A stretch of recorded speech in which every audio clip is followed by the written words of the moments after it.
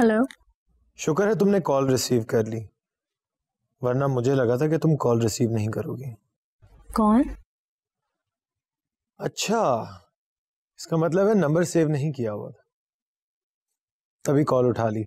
हर इस बात कर रहा हूँ। तुम?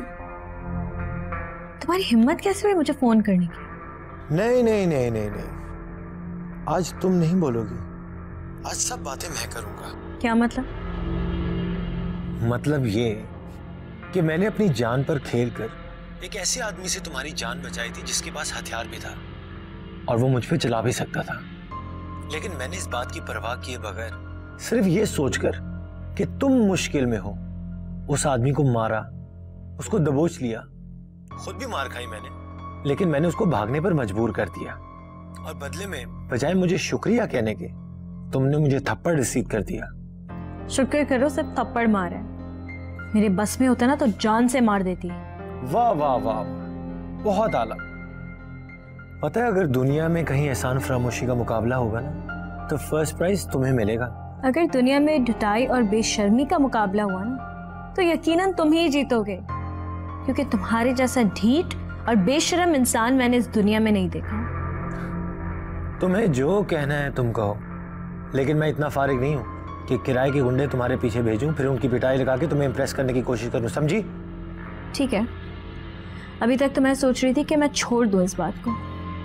लेकिन अब जब पुलिस तुमसे उगलवाएगी ना तो अच्छी तरह तुम बताओगे कि ये तमाशा तुमने क्या किया। You just wait and watch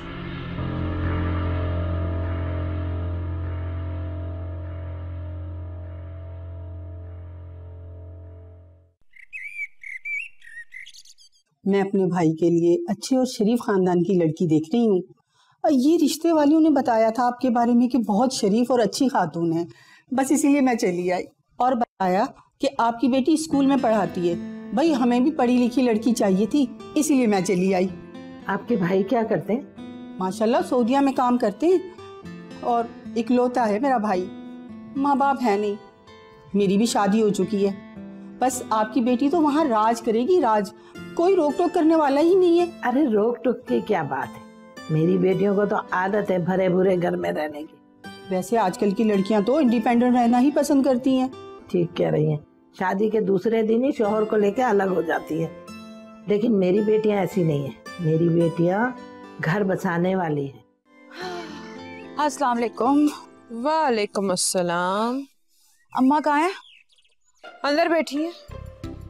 तुम्हारे रिश्ते के लिए खातून आई हुई है। आराम से आराम से। ओवर नहीं हो ओवर नहीं हो अच्छा ये तो बताओ लड़का भी है साथ? नहीं लड़का नहीं आया वो अकेली आई है। यहाँ बाहर क्यों खड़ी हो? अंदर जाओ ना। अम्मा ने मना किया है क्योंकि मेरे अंदर जाने से मामला बिगड़ जाते हैं। अम्मा की हर बात पे ना तुम यकीन मत किया करो ना माना करो। अच्छा चलो ना मेरी हिम्मत बढ़ेगी। चलो चलो चलो। चलो चलो चलो। एक सेकंड ऐसे ऐसे करके ओढ़ लो? ऐसे पीछे। अस्सलाम वालेकुम हाँ वालेकुम अस्सलाम। जीते रहो बेटा बैठो। ये मेरी बेटी है शहर वाला। माशाल्लाह माशाल्लाह। और ये कौन है?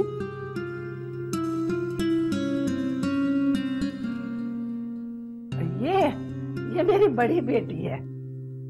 दिलशाद अच्छा माशाल्लाह। कितने बच्चे हैं आपके? बच्चे। मेरी शादी नहीं हुई। क्या? शादी नहीं हुई? क्यों भाई? क्या वजह है? कोई खास बात है? कोई खास वजह तो नहीं है। नहीं हुई तो बस नहीं हुई। अरे आप ये ले ना कुछ ले ले। हाँ हाँ हाँ, शुक्रिया शुक्रिया।